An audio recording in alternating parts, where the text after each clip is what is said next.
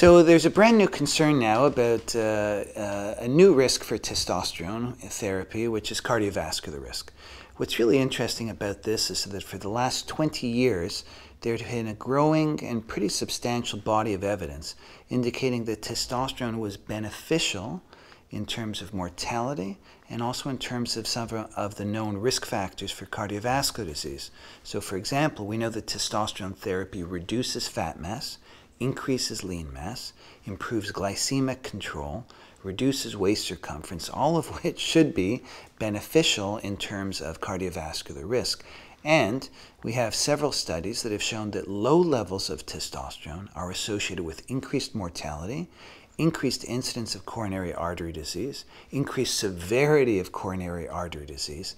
And so it was rather strange when in November 2013 appeared a journal article published in the Journal of the American Medical Association that suggested that there was increased cardiovascular risks with testosterone. Important to note that that study was a retrospective study, and we always have to be cautious with those. What that study, uh, written by Vigen and colleagues, uh, reportedly showed was that the absolute risk of stroke, heart attacks, and death in men who took testosterone was increased compared to men who were untreated but also had low levels of testosterone. In fact, the authors made an error and this was subsequently pointed out, and the paper was changed, but not until the damage was done and the headlines were made. In fact, what the actual absolute rate of events showed, an absolute rate of events refers to what really happened, number of bad events divided by the number of people in that group. What it showed is that the rate of adverse events for heart attack, stroke, and death was 21.2% in the untreated group and only 10.1% in the testosterone group.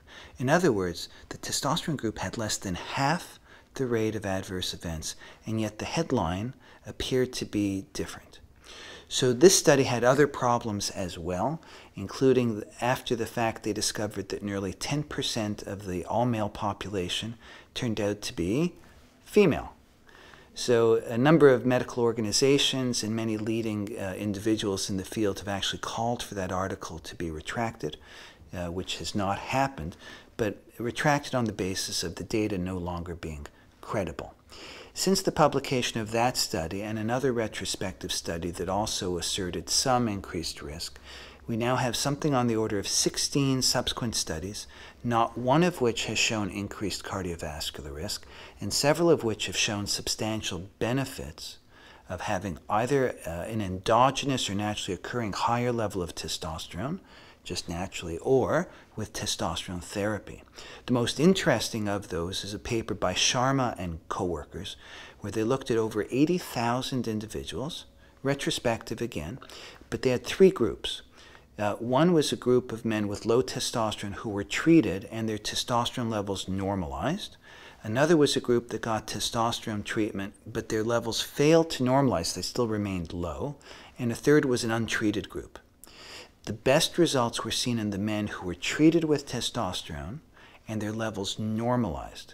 When compared to the men whose levels did not normalize, or even untreated men, the mortality rate was reduced again by about half, heart attack rate was down and stroke rate was down. Rather remarkable study suggesting that just applying testosterone may not be enough, but actually we need to actually get adequate treatment as evidenced by an increase in the blood levels. So I think today the evidence accumulated over now for several decades is a fairly rich literature that is not yet definitive but is strongly suggestive that, if anything, testosterone may be beneficial for cardiovascular risk. Nonetheless, uh, the regulatory agencies in the United States, the Food and Drug Administration, did issue a warning, but a fairly cautiously worded one, saying, as they often do, there may be increased risks or there are reports of it. The European Medicines Agency looked at all the same data and declined to add a warning. Um, and as a clinician myself, I think that we have to go with the best evidence that's available. Things that make sense usually make sense.